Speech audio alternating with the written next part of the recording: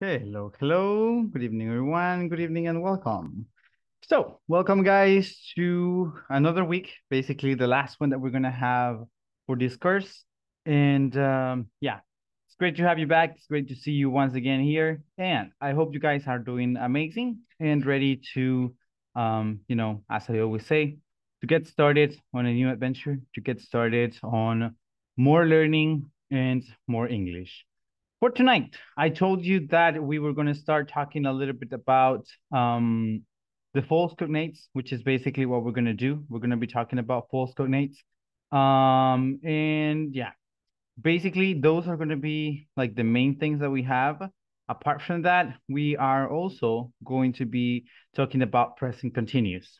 Present continuous is a tense in English. When we talk about tenses, what we refer to is basically the different ways in which you can express um, ideas or express sentences in English.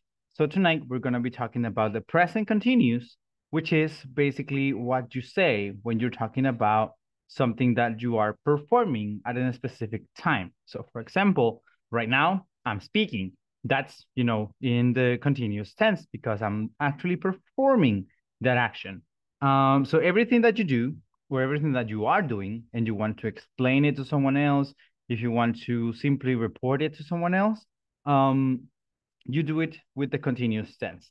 There are two continuous tenses. The main one is the present continuous, and the other one is not necessarily continuous, but they refer to it as continuous, which is the past continuous. Um, but yeah, in the past, well, it's it's complicated, but in the present, it's easy it's very easy to recognize a word or a verb that is being used in its continuous form because what they do is that normally they have an ing form at the end. Muy bien.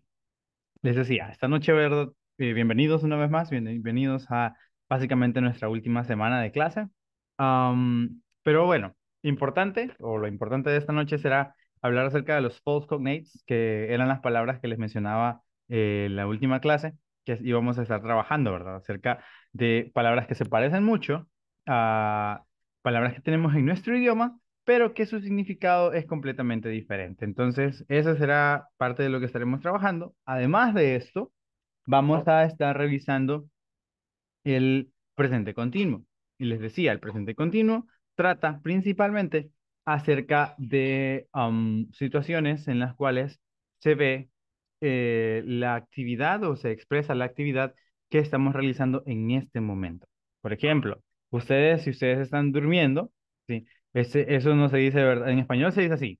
Terminan la mayoría de verbos cuando están en, en su forma continua o participativa, porque esos son los dos nombres principales que tiene esta como categoría de verbos, se expresa como endo o parece que es yendo. Esos son como los, los finales regulares que tienen en español.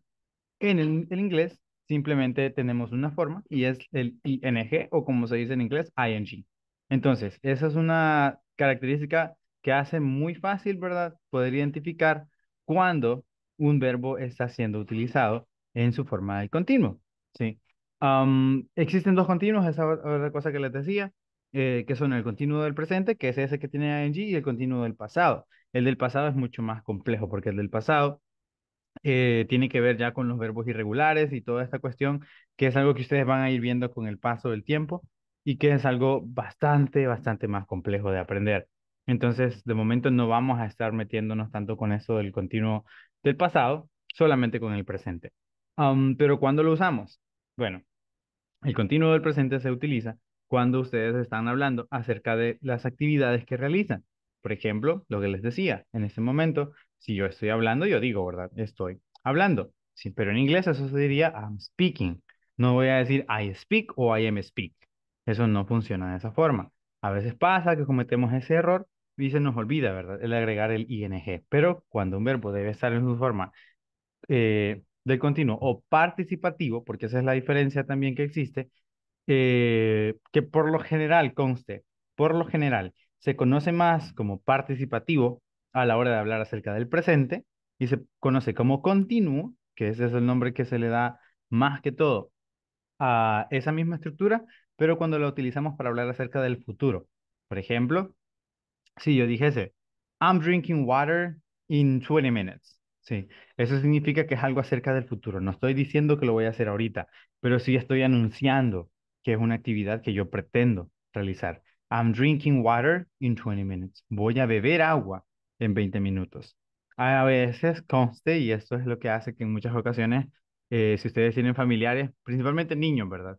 Que vengan de visita de Estados Unidos, que ellos hablen español, pues así más o menos, ustedes escuchen que los niños digan, oh sí, estoy bebiendo agua eh, más adelante, o estoy bebiendo agua en un ratito porque ellos han aprendido a traducirlo directamente porque significa bebiendo, estoy bebiendo en el presente, si lo dijésemos ahorita, pero cuando lo decimos así, nosotros, ¿verdad? Que ya utilizamos o sabemos cómo se utiliza eh, diferentes tiempos del futuro, podríamos entender que ellos se refieren a voy a beber o beberé agua en 20 minutos, ¿sí? Entonces, eh, entonces lo importante, se utiliza la misma forma del verbo, lo que cambia, lo que nos ayuda a identificar si es acerca del presente o si es acerca del futuro, es simplemente una frase de tiempo. O sea, si en algún momento de la oración se menciona que algo va a pasar en cinco minutos, en diez minutos, en una semana, en 20 años, ustedes entienden que esta es una oración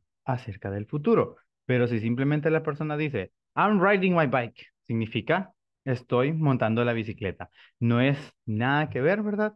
Con el futuro. Así que eh, eso es como lo principal que vamos a, tratar de aprender acerca del tiempo eh, continuo o participativo. Y por otro lado, pues lo que les mencionaba, los false cognates o los cognados falsos, que son las palabras que se parecen mucho en su estructura, pero en el significado son muy, muy diferentes. Eso va a ser con lo que iniciemos justo después de la pregunta de la noche. Because tonight we, of course, need to practice. Now, I want to hear tonight something different, something that, um, you know, it's not, has not been shared before. And it's basically, what's your favorite fruit? So think about it. What's your favorite fruit? Not food, fruit. Yeah. Um, if I have to share first, or if I have the chance, you know, to share mine, I will have to say that my favorite fruit is the pineapple. I like the pineapple because it's sweet, but at the same time, it's a little bit sour. So it leaves a very, very nice aftertaste. And uh, I enjoy having pineapple plain, just like, you know, the regular pineapple. Some people like to add hot sauce or salt to the pineapple.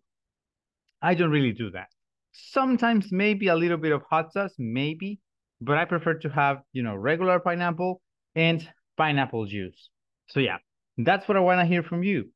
What's your favorite fruit and how do you like to have it? Si cuál es su fruta favorita y cómo les gusta comerse su fruta favorita. So let's think about that. And uh, I think we're going to start sharing in just a bit. And maybe we may start by hearing from, hmm, let's see. Eden Nilsson, in your case, Eden Nilsson, what is your favorite fruit and how do you like to have it? is uh, apple. Okay. Eh, ¿Cómo se diría en trozos? Eh, Chunks. Chunk. Mm -hmm. Chunk with um, tahini. Oh, very, very, very nice. Uh, do you like green apple or like um red apple? Red. Red oh. apple. Okay, great. So I imagine it's like a nice taste, you know, having the sweetness of the apple and also the spiciness of the tahini. I think it's very, very good. So nice, great. Uh, that sounds, you know, as a as a as a very good experience, I think, uh, having something like that. So good, very good. How about in the case of uh, Senia? How about you, Senia? What is your favorite fruit, and how do you like to have it? My favorite fruit is is grape, green mm -hmm. grape. Mm, okay.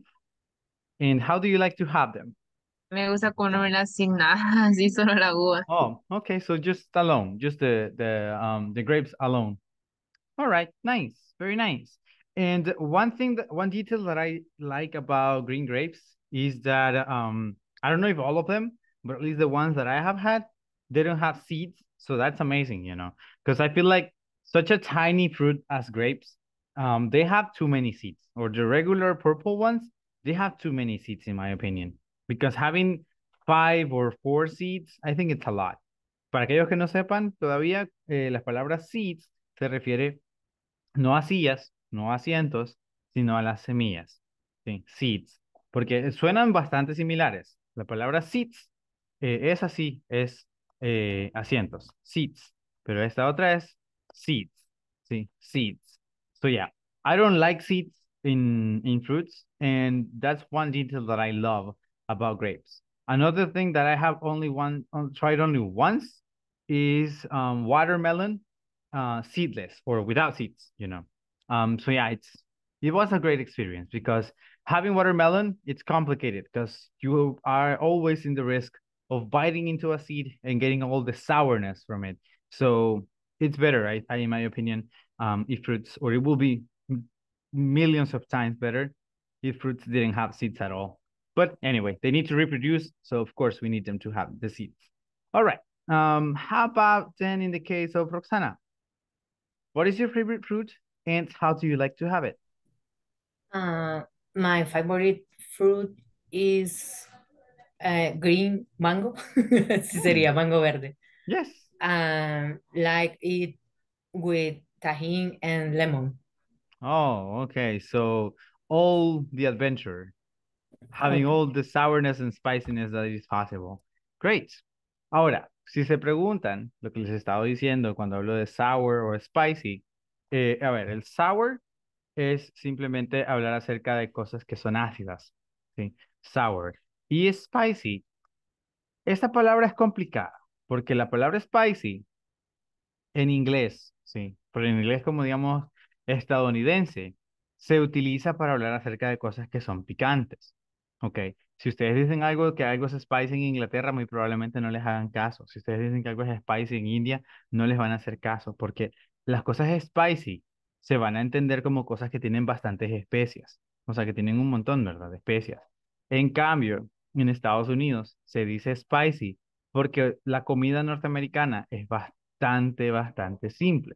O sea, la comida norteamericana no tiene demasiadas cosas, más que, más que sal, pimienta y quizás ahí paramos de contar. Algo de ajo, algo de cebolla. Pero, o sea, no es que van a utilizar nada más allá, ¿verdad? Ninguna cosa de que aquí que le meten pimienta gorda, que pimentón, que eso, que lo otro. O sea, no. Difícil, difícil, difícilmente eh, habrá comida, ¿verdad? Que lleve más sabores. Incluso, vaya, experiencia personal, eh, había una cosa que, bueno, a mí nunca, no sé si hay alguien a quien le guste el olor a la chuquilla.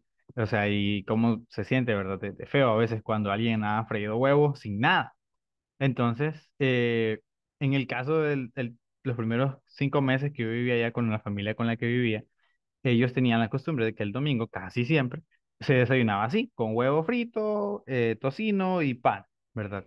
Entonces, pero el hombre se levantaba temprano, agarraba medio cartón de huevos o quizás más y ya los freía. Yo nunca, nunca lo vi porque yo siempre me levantaba tarde. Entonces, pero que el punto es que cuando yo me levantaba, estaba la cocina o toda la casa, porque como estaba todo conectado, ¿verdad?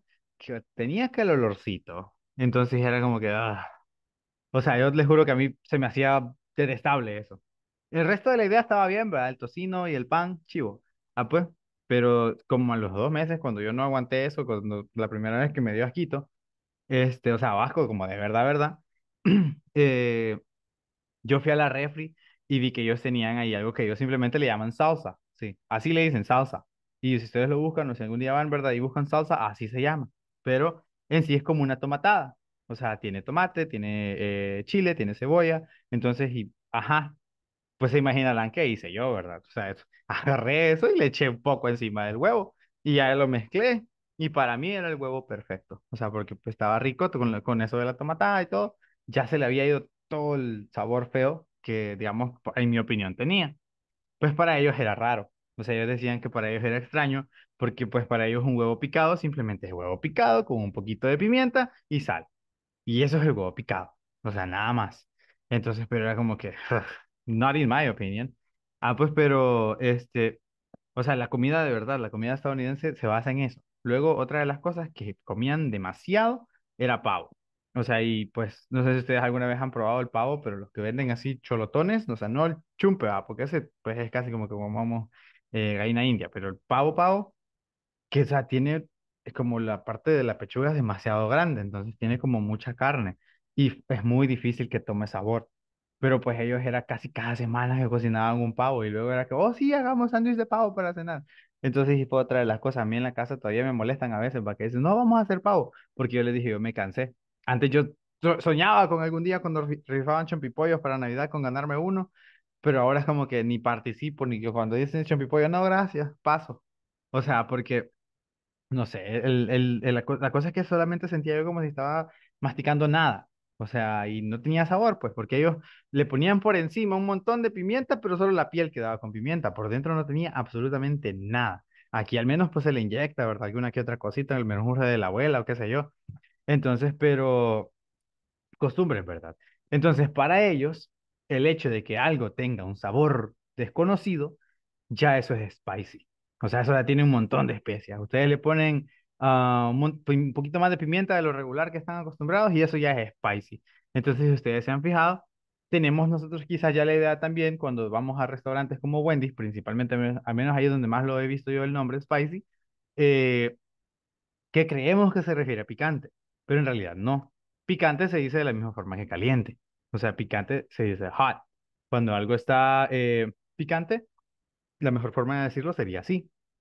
Anteriormente también les dije, ¿verdad? El hot sauce. Sí. Hot sauce se refiere pues a la salsa picante o al chile, que, comúnmente decimos. Entonces, am, sí, un hot sauce sería una salsa picante. Pero eso, spicy, pues eh, se referirá en inglés norteamericano a cosas que tengan eh, o se sientan picantes. A cosas que se sientan picantes porque pues para ellos cualquier cosita que se pasa tantito de la raya que tenga un poquito de especie ya es algo picante, ya es algo eh, extraño, ya es algo, ajá, ¿verdad? Sorprendente. Am, conste, esto no quiere decir que tampoco, o sea, que sea toda la gente así. Se principalmente es como en las casas que cocinan así. Ya si ustedes van a restaurantes, pues es diferente, ¿verdad? La comida es bastante, bastante distinta. Pero incluso, de hecho, ahora que lo menciono, hasta en restaurantes. Había un restaurante mexicano que el arroz yo sentía como si solo era masa, o sea, como si estaba comiendo nada. De verdad que no solo críticas, no solo críticas, pero simplemente experiencias, cosas que me pasaron que de verdad me dejaron un poco decepcionado, vamos a decir. Pero bueno, ah, moving on. Entonces, oh, la otra cosa que les decía era también la de la sweetness, ¿sí? Cuando hablamos de los sweet, ya creo que nos, nos imaginamos, ¿verdad? Sweet se refiere a algo dulce. Así que, muy bien. Moving on. How about in the case of uh, Nancy? How about you, Nancy? What is your favorite uh, fruit and how do you like to have it? My favorite fruit is strawberry. Okay, and how do you like to eat your strawberries? I like it in pancakes. Hmm, that's nice. Very good. That sounds uh, as a very appetizing, um, you know, sort of dish. So great, very nice. Um, how about in the case of Carla Vanessa? How about you? What is your favorite fruit and how do you like to have it? Mm, My favorite fruit is mango. Mm-hmm. And how do you like? Uh-huh. Mm, my like is con todo. All right, that's nice. Yeah, mangoes are, you know, they are very welcoming to different flavors. Like you can add many things to mangoes or to different variations of mangoes, and they are going to taste good. So that's, you know, like a, a very nice fruit to have as a favorite. Um, how about in the case of medium? How about you, medium? What is your uh, favorite fruit and how do you like to have it? And my favorite fruit is pineapple, and I like to eat um, with tahini. Oh, okay. Tahini and chamoy, have you ever tried it like that? Mm. Okay, great. Yeah, nice, very nice. Actually, that was my gift to myself uh, for my birthday two years ago. I remember that there were some people here on the street selling um, pineapple with tahini and, and chamoy, and I bought two plates or like two pineapples because I love it like that as well. I forgot about it. So good, very good. That's uh, and I don't know if you were here when I I shared that that's also my favorite fruit. So nice. Um, how about in the case of uh, Robert? How about you, Robert? What is your favorite fruit and how do you like to have it? ¿me me escucha? Yes, confirm.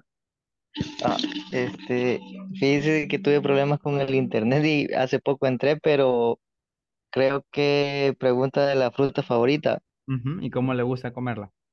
Ah, my favorite fruit is orange. Mm. And how I do you... like Ajá. I like it alone. Sola? Oh, ajá, alone, sí. Ajá. Okay, great. Very good. Yeah, I mean, oranges are one of those fruits that are also, uh, you know, very nice to have alone. However, it depends on how tasty the orange is because there are some oranges that are very dry and it I think it's very difficult. It would be very difficult to enjoy an orange that is dry. But great. I mean, if if, if you find the right oranges or the right set of oranges, of course, go ahead and uh, enjoy it as much as you can. So very good. Nice, nice, nice. How about in the case of uh, Nancy? How about you? Oh, sorry, I already asked you. Sorry, sorry, sorry. Um, let's see, Abel. How about you, Abel? What is your favorite fruit and how do you like to have it? My favorite fruit is mango with um, chili and Oh. lemon. Oh, okay, great. And that's another way in which you can say Chile. You can also say Chile, something like that. So it, it works, you know, people will understand it if you say it like that in English. So nice. And uh, as I said before, mangoes are a fruit that are that is very welcoming to like other flavors. So of course, if you have mango with uh, different flavors like that, it's going to be enjoyable. It's always going to be enjoyable. So good, very, very good. Um, how about in the case of uh, Karen? How about you, Karen? What is your favorite fruit and how do you like to have it? Um, my favorite fruit is strawberries. Mhm. Um, I like them with chocolate. Oh, great. Very good. Yeah, strawberries and chocolate are a great mixture. You know, they combine very, very good together. So it sounds like a, an amazing way of having strawberries. I have tried them like that a few times before, and yeah, I can I can say that they are enjoyable. So nice. Now that I know a little bit about you guys and I know a little bit about what are the fruits that you like, we are going to move on and start talking about um, the topic that we have for this evening. And uh, here we're going to get started first with, um, wait, the false cognates. There, we're on the next one. False cognates are, I think they are around here. Yes, here they are. So I told you these words are words that have like a similar meaning to other words in Spanish. However, they do not mean the same as these words in Spanish. So let's start um, looking at them through and try to understand the meaning of these words. So let's get started with embarrassed.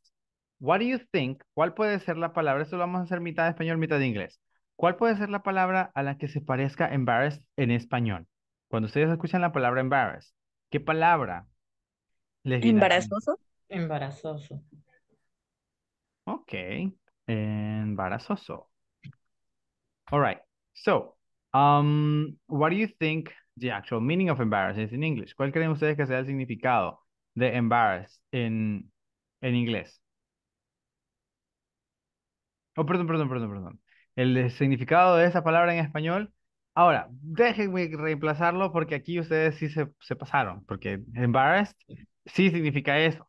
Ok, significa embarazoso, pero por lo general se dice que esta palabra se confunde o tiende a confundirse con embarazada. Sí, y creo que estas se las mencioné la vez pasada, ahora que me acuerdo.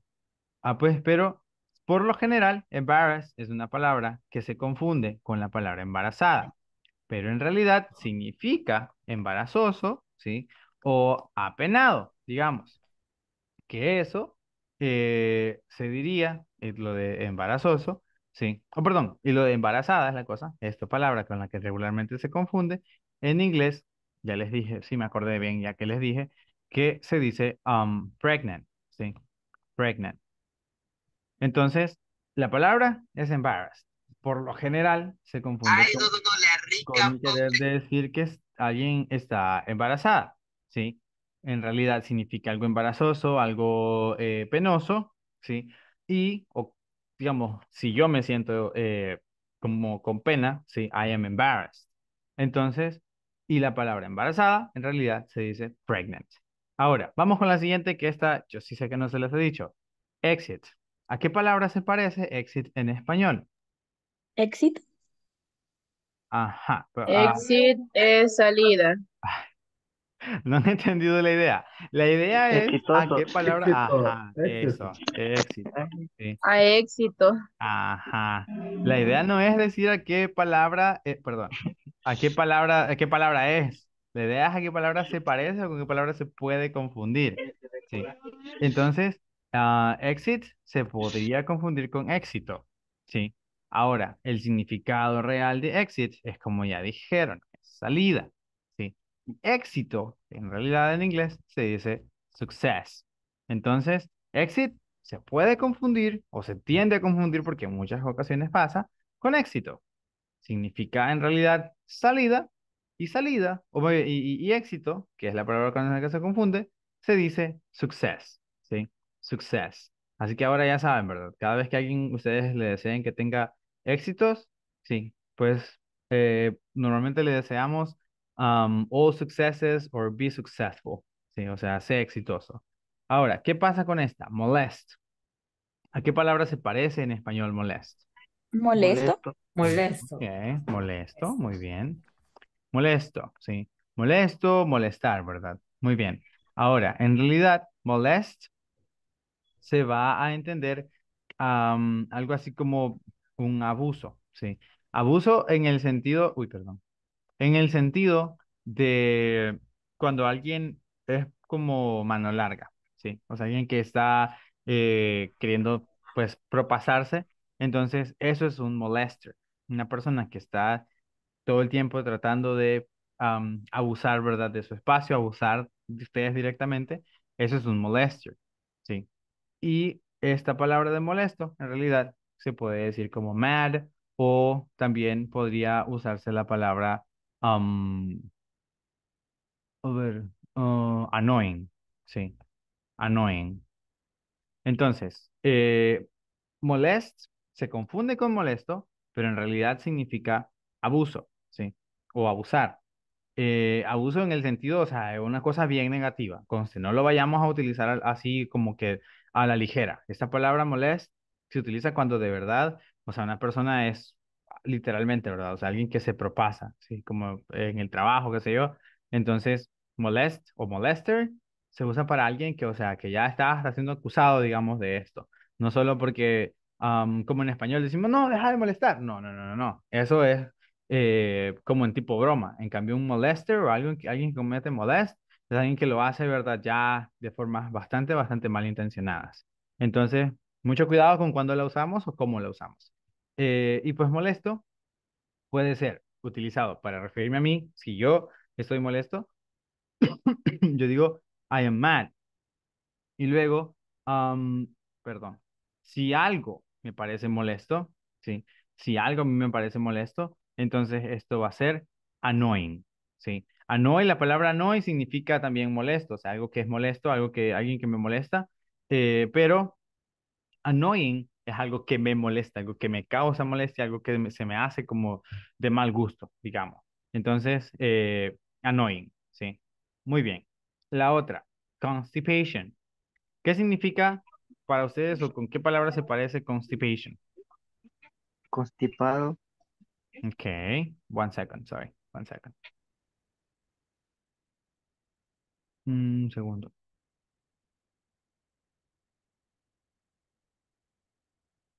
Okay. Um, so yeah. Uh, let's see. Constipado. Uh. All right. Now, constipado. And, ¿qué sería esto? Para ustedes, ¿qué es estar constipado? Estreñimiento. Con gripe, ¿no? Ok, muy bien.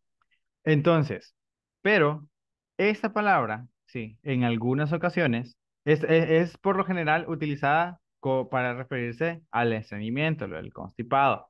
Pero esta, constipation, se utiliza para lo que dijo el compañero. Se utiliza por lo general para hablar acerca de estar engripado o con la nariz tapada. Entonces, es enredado, es complicado, yo sé, porque de hecho una vez a mí me pasó que yo dije, ¿verdad? Eh, algo así que me sentía constipado, en realidad, o lo dije en español y, y en realidad tenía que haberlo dicho en inglés para hablar acerca de que me sentía mal de la nariz o del, como de la gripe. Entonces, y las demás personas entendieron que era que yo estaba mal eh, del, de lo de- del mal del cuerpo, digamos. Ahora, esto del constipado, por lo general, la el único cambio que va a tener es que ustedes lo dicen como constipated, ¿sí? Entonces, o sea, es un cambio bastante pequeño, porque sí es bastante pequeño, estas palabras en realidad se parecen bastante, pero eh, ese básicamente es el chiste que tienen, ¿verdad? Eso de los false cognates. Palabras que nosotros creemos que pueden utilizarse para algo, pero a la larga significa o termina pasando que en realidad no. O sea, que no podemos utilizarlo, ¿verdad? Para lo que nosotros creíamos. Ahora, la palabra fabric. ¿A qué palabra se parece fabric en español? Fabricado. Ok, puede ser fábrica o fabricado. Sí, fábrica. Vamos a dejarlo en fábrica. Ahora, ¿qué creen ustedes que significa en realidad la palabra fábrica en español? No es fábrica. ¿Qué otra cosa podría llegar a ser fabric? Tela. Okay, thank you. Yes, that's it. Sí, la palabra fabric significa tela. O sea, básicamente siempre que ustedes estén, um, por ejemplo, si quieren dar un compliment, o sea, un buen comentario acerca de el traje de alguien, el vestido de alguien o cualquier pieza, ¿verdad? Que alguien esté portando, ustedes le pueden decir, oh, I like the fabric, ¿sí? Significa me gusta la tela. Entonces, fabric se va a referir a tela. Y fábrica en realidad se parece, porque se parece un poco, pero sería factory, ¿sí? La otra palabra que dijeron por ahí, fabricado, esa sí no se parece mucho. Fabricado, ah, sorry, fa- there we go. Esa se va a decir ah, made, Sí, made, que es lo que aparece en muchas ocasiones en, en el vestuario, ¿verdad? Que dice made in Taiwan, made in El Salvador even, entonces eso significa fabricado en. Pero eh, vamos a simplificar esto y lo vamos a dejar con las que son parte, digamos, de la ecuación, que serían estas cuatro. Entonces, fabric, suena como si fuese referirse a fábrica.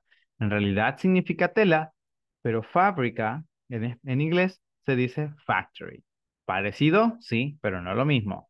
Luego tenemos soap. ¿A qué palabra les parece a ustedes que se parece soap en español?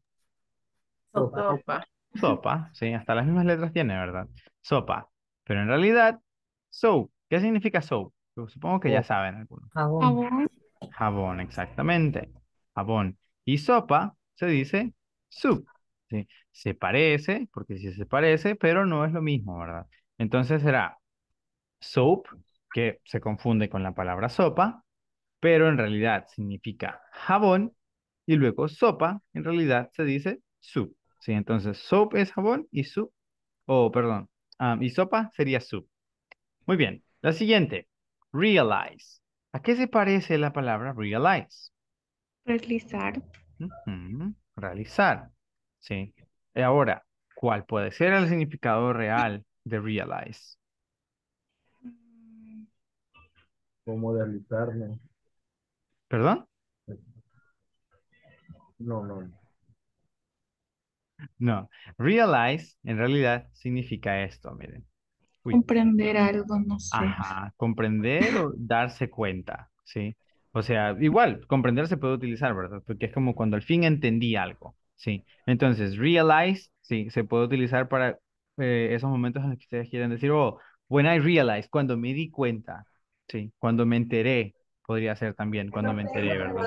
So, realize, eh, esas son las, básicamente, la interpretación más básica que puede tener. Sí, realize, parece la palabra realizar, significa darse cuenta, y realizar, en realidad, se puede decir como make. Sí, make, o eh, ya con un phrasal verb podría decir el carry out. Podría ser con phrasal verb también así, ¿verdad? Make o carry out, que estos pues ambos significarán algo eh, relacionado a realizar, cuando ustedes hacen algo. Muy bien, high, ¿a qué palabra se parece? consta, en este caso se parece, no suena como esa palabra, se parece literalmente. A pie. A pie, muy bien, pie.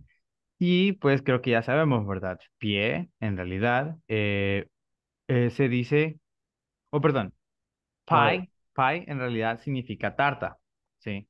Tarta o pastel, ahí depende cómo ustedes lo quieran interpretar, puede ser también pastel. Y la palabra pie, en realidad se dice foot, ¿sí? Foot. Y aquí es donde sale el nombre del fútbol. Ahora, claro, antes se escribía así, antes era de esta forma, fútbol. Hoy en día ya casi nadie lo escribe así, hoy ya se simplificó, ¿verdad? Y ya simplemente se dice así, fútbol. Pero eh, antes era fútbol. Me acuerdo yo que cuando estaba pequeño igual todavía se seguía escribiendo de esta forma, fútbol. Pero, entonces, eh, pie se parece, perdón, pie se parece a la palabra pie, que en realidad eh, pie significa tarta o pastel y pie es foot. Sí, esa es la forma en la cual no son lo mismo. Vamos a ver la siguiente. Introduce. ¿A qué se parece la palabra introduce en español? Introducción. Ok, introducción. O podríamos decir también simplemente introducir. Sí, digamos. Puede ser tal vez más común. Eh, introduce, introducir. Ahora, introduce en realidad significa presentar. ¿Sí? Presentar. Presentar conste en el sentido de que tenemos dos personas que no se conocen y nosotros tenemos eh, el deseo de que estas personas se conozcan. Entonces decimos, let me introduce you to. Déjame presentarte a. Entonces a eso se refiere, ¿verdad? Introduce es cuando ustedes eh, hacen que dos personas se conozcan o logran que dos personas finalmente se conozcan. So, let me introduce you to. Sí, déjame presentarte a. Eso sería introduce. Luego, introducir se diría insert. ¿sí? Insert. No sería introducir, sino que... Um, ok. Sería entonces... Eh, insert. ¿sí? Entonces, la palabra introduce. ¿sí? Se dice como... Um, o se parece más bien al español a introducir. Luego... Eh, esta en realidad significa presentar o hacer que dos personas se conozcan y introducir se dice insert en inglés. Muy bien, ahora, record. ¿A qué se parece la palabra record? Recordar. Muy bien, a la palabra recordar.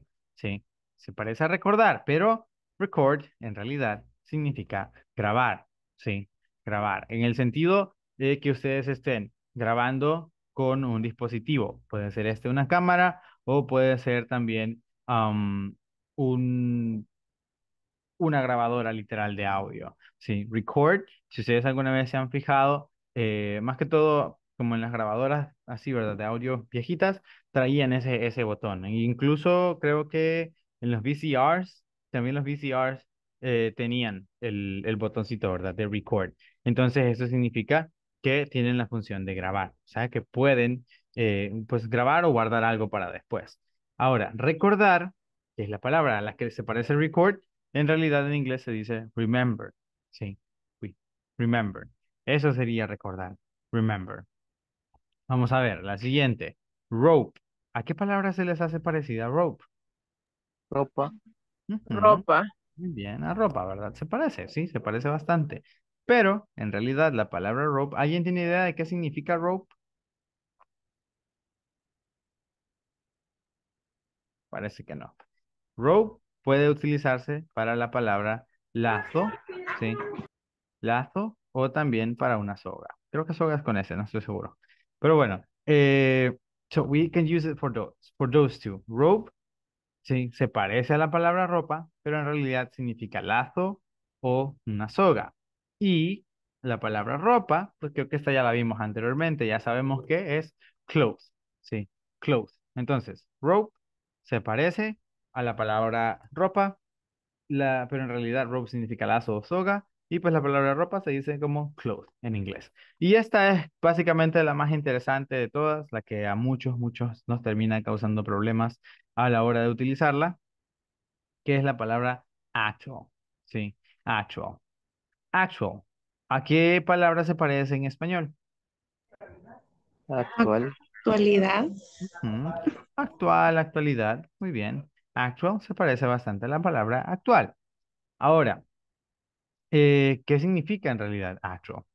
Actual, sí, se va a referir a hablar básicamente o decir eh, el hecho, sí. Actual es, por ejemplo, como si estuviésemos en- diciendo, he is the actual boss, ¿sí? Él es el real, ¿sí? O el jefe real, o el de verdad, ¿sí? Actual se va eh, a utilizar entonces para hablar acerca de cosas que son como la prueba de algo, ¿sí? Actual será entonces para decir, digamos, el real o, eh, ajá, actual, el real o el hecho, ¿sí? El hecho. Uy, there we go. El hecho. So, that is actual. Ahora, eh, esta otra palabra actual se va a decir como current, ¿sí? Current. Cuando nosotros queremos decir algo como, am, digamos, mi trabajo actual, ¿sí? Yo no digo my actual job, porque my actual job se va a entender como mi trabajo de verdad, ¿sí? My actual job se va a entender así, ¿verdad? Como si ustedes estuviesen diciendo mi trabajo de verdad, como si tuviésemos un trabajo real y un trabajo falso, digamos que tal vez en un videojuego, qué sé yo. Entonces, eh, pero si ustedes quieren decir mi trabajo actual, ese va a tener que decir my current job my current job. Entonces, cada vez que ustedes quieran hablar acerca de algo que está sucediendo, algo, pues como diríamos en español, actual, se dice current. Y si, por ejemplo, quisiésemos decir actualmente, ustedes simplemente lo que van a hacer es agregarle aquí, ¿verdad? Currently, ¿sí? Currently. Por ejemplo, en su caso, you are currently learning English. Entonces significa que están actualmente o están en esta fecha aprendiendo inglés.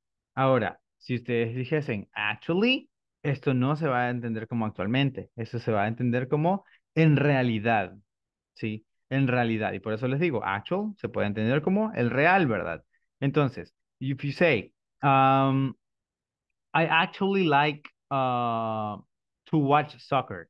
Eso no va a significar yo actual, a mí actualmente me gusta ver fútbol, que es lo que podríamos pensar que puede significar. Si ustedes dicen, I actually like to watch soccer, eso se va a entender como yo de verdad, ¿sí? O en serio, eh, a mí, perdón, a mí de verdad o a mí en serio me gusta ver el fútbol, ¿sí? Entonces, actually se va a entender así, como de verdad o en serio, eh, o en realidad.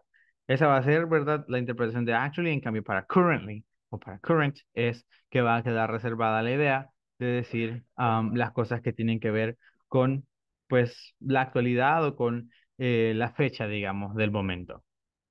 Ahora, ¿alguna duda que tengamos eh, con respecto a esto, a los um, false cognates?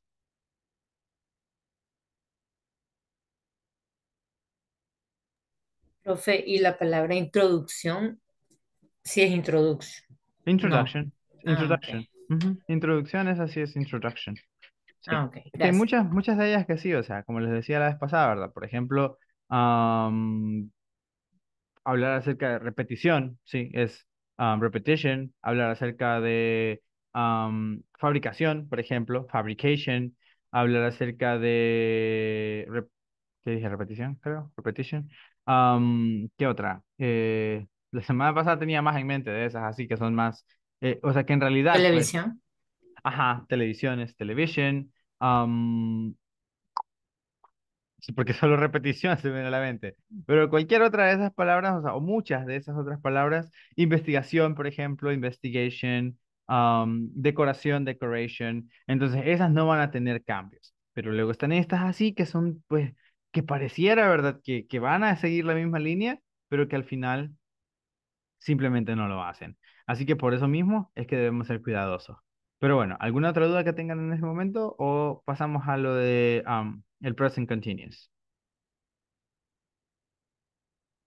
Bueno, creo que no hay dudas. Así que si les pregunto el viernes, estoy seguro que me van a contestar de forma perfecta. Vamos a ver.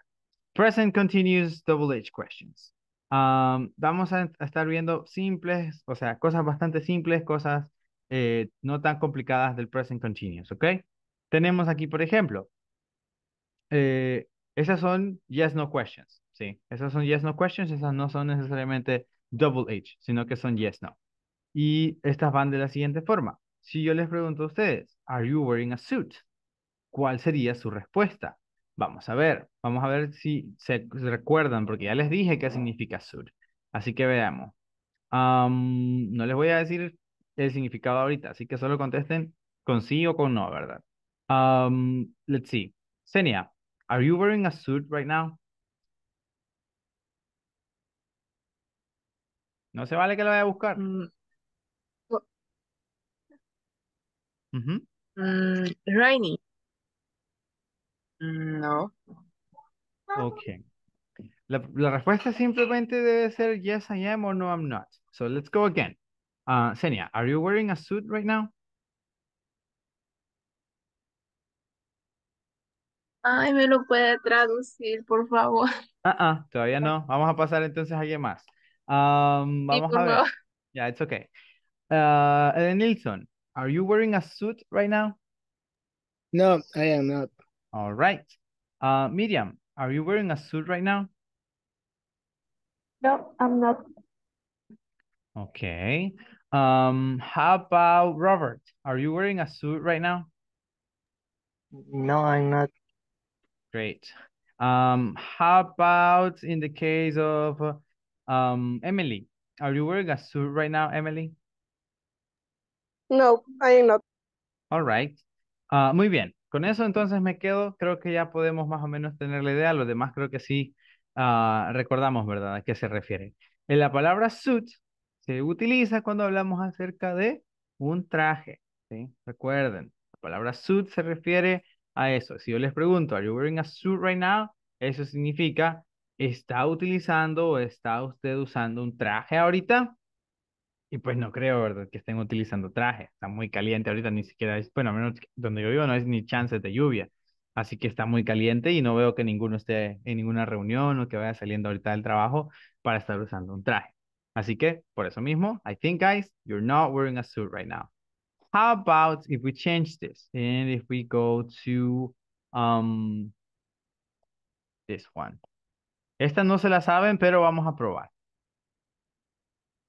Ok, esta no, no, no es que yo les he enseñado esto, pero pues vamos a probar, ¿verdad? A ver qué, qué, qué respuesta obtenemos. Are you feeling hungry right now? Let's see. Um, Roxana, are you feeling hungry right now? Um, yes. Yes, you are? Yes, I am. Oh, okay. Um, how about uh, Karen? Are you feeling hungry right now?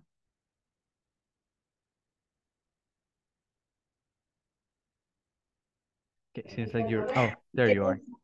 Yes, I am. Oh, okay, great. And you're even having dinner, I think. How about in the case of, um, uh, let's see, Carla Vanessa, are you feeling hungry right now? No, I am not. All right. Um, how about Abel? Are you feeling hungry right now, Abel?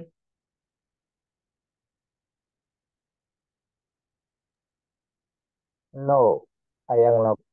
All right, great. Um, so how about in the case of um let's see, uh one that I have asked before. Oh, Senia, how about you, Senia? Are you feeling hungry right now? No, I not. All right, very good. Así, básicamente, de esa forma, ustedes pueden utilizar preguntas sencillas con eh, ing o el presente continuo, que estas se van a entender, ¿verdad? Como situaciones de este momento. Por ejemplo, si yo les pregunto acerca de mañana, sería algo así, miren. Pero cosas como estas no se podría preguntar, por ejemplo. Si ustedes tienen hambre, esto sería bien, bien complicado que se pueda eh, preguntar. Por ejemplo, esta otra que teníamos acá, are you wearing a suit at the party, digamos? Si ya sabemos que la fiesta va a ser hoy en la noche, ¿sí? Entonces a mí me pregunta un compañero en el trabajo, are you wearing a suit at the party? Yo entiendo que esta pregunta es acerca del futuro y esto significa después, ¿sí? Si vas a utilizar un traje. Entonces, a usted, ahí ustedes igual. O sea, la respuesta va a ser la misma. Ustedes no tienen por qué, eh, digamos, ponerse nerviosos ni nada. Simplemente dicen, yes, I am, no, I'm not. ¿Por qué? Se refiere al futuro, es cierto, pero eh, la base de la pregunta es el presente del be. Así que la base de la respuesta deberá ser también el presente del be. Simplemente ustedes tienen que decir, ¿Are you wearing a suit at the party? Eh, ustedes dicen, Yes, I am. O sea, sí, voy a hacerlo. Así se va a entender la respuesta. El hecho de que la pregunta incluya el evento en el futuro hace que su respuesta de una vez también tenga contexto en el futuro. Ahora, pero la idea, como les dije, no es hablar solo del futuro, sino que quedarnos más que todo en las actividades del presente. Así que si ustedes dicen, are you wearing a suit? Eso se va a entender como si ahorita lo están haciendo, no mañana, no en la fiesta, no en el trabajo, ahorita. Sí, sí, ahorita lo están haciendo. Si ustedes ahorita no tienen puesto un traje, entonces, you're not wearing a suit. Esta otra, por ejemplo, es para saber acerca de terceras personas. Acerca de lo que alguien más pueda estar haciendo, ¿sí? Por ejemplo, si ustedes, qué sé yo, están en una reunión o quieren saber acerca de lo que alguien pueda estar haciendo, ustedes preguntan así, ¿verdad? Is she wearing boots? ¿Sí? ¿Está ella usando botas? Is she wearing boots? Esto significa, o quieren saber más bien ustedes, si alguien más que está por ahí alrededor está utilizando botas, ¿sí? Is she wearing boots? Si la persona está usando botas, ustedes dicen, yes, she is. Si la persona no la está haciendo, ustedes pueden contestar, no, she's not, o no, she isn't. Ahora, ¿alguien recuerda cuál es la diferencia que yo les dije que existía entre decir no, she's not o no, she isn't? Quiero que alguien me explique cuál es la diferencia que hay entre esas dos. Entre decir no, she's not y no, she isn't.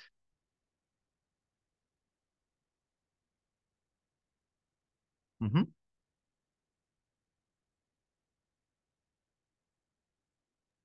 Yo lo que recuerdo es que explicó cuando decían no, she's not, era como algo más formal, Ok, una respuesta como más formal. ok, sí, es un tanto más formal y a la misma vez puede ser entendido como un tanto más serio. O sea, serio en el sentido de que tal vez a mí se me hace molesto, digamos, eh, que alguien me diga esto. O sea, o se me hace molesto quizás que alguien eh, me haya preguntado esto. O si yo tal vez estoy molesto igual, ¿verdad? O sea, si yo quiero ser dramático o dramática a la hora de contestar, pues ahí es donde se, puedo utilizar el no, she's not. Sí, porque el utilizar el not, uh, sorry, el utilizar el not así solo es lo que hace que la respuesta suene como más fuerte, como un poco más brusca. Entonces, esa será como la diferencia que exista. El decir no, she's not. Sí, o sea, como no, no lo está haciendo.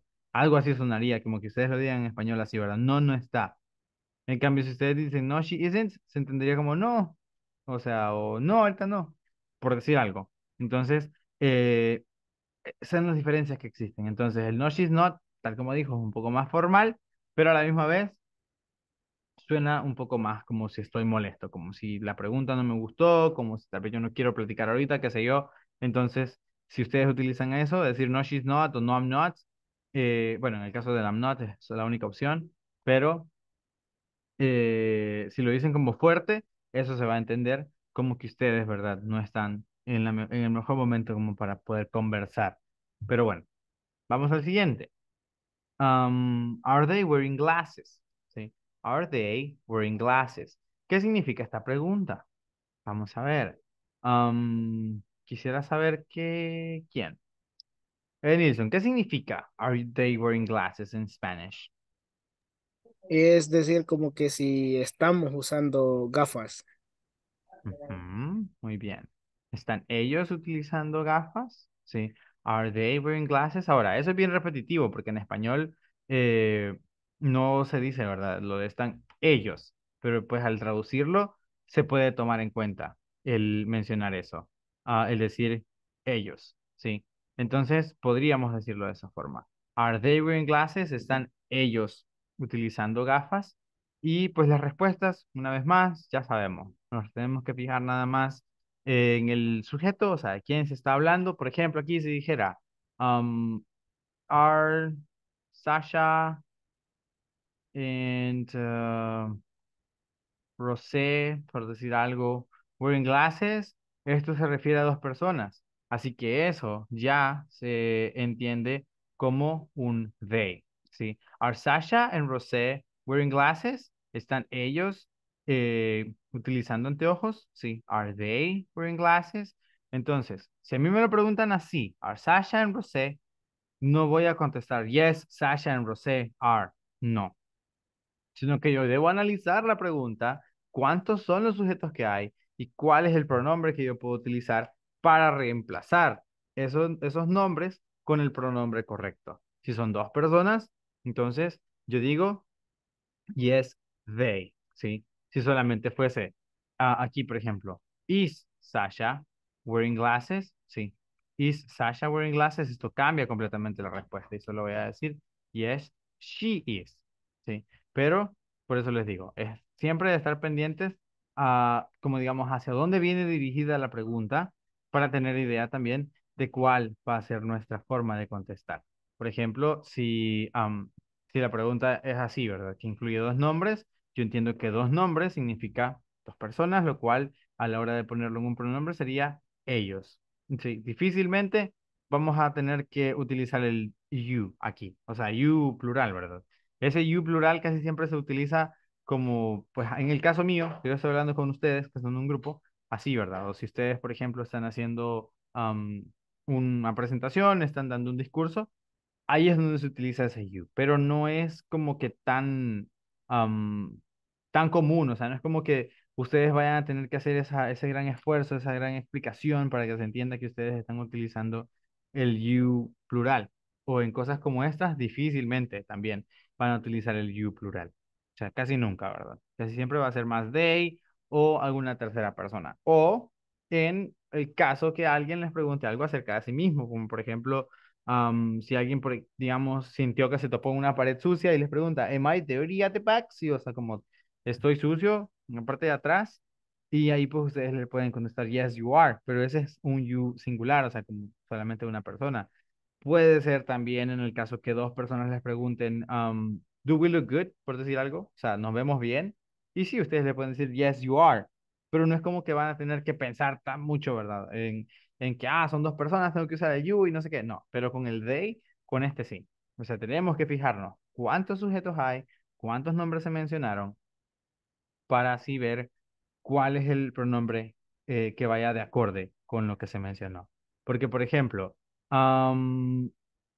si se dijese aquí, are Sasha and Rosé getting, y aquí vamos a meter el tema que vimos la otra vez también, getting um, Luis's, bueno, Luis's cake, ¿sí? Are Sasha and Rosé getting Luis, oh, getting Luis's cake?